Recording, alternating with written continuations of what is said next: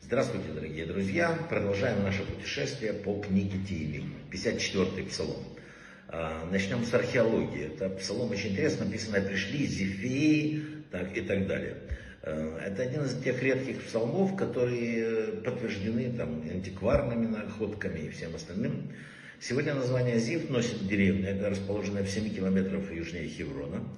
И рядом есть холм такой, холм Зив. И здесь, по данным археологии, находился город, жители которого упоминаются в 54 вот, главе Тигелим. Э, кстати, просто уже так, в Талмуде упоминается два шхазифин, то есть густой, очень густой зивский мед.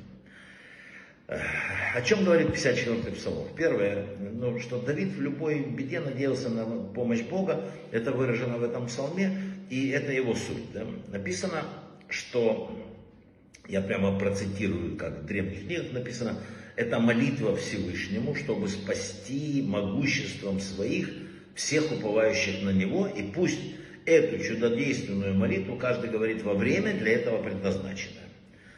Теперь будем идти дальше. Написано, что это уникальный псалом от уныния и отчаяния. Когда у человека ну, кончается какой-то внутренней силы, какое-то терпение, читай 54-й псалом.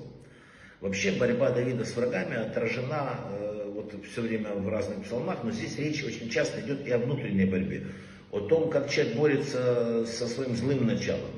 Давид очень много работал над собой, поэтому написано, если хочешь помощи от врага, читай этот псалом. И даже вот написано, нельзя мстить, э, заниматься мщением. Ты читай псалом, а Бог все сделает за тебя.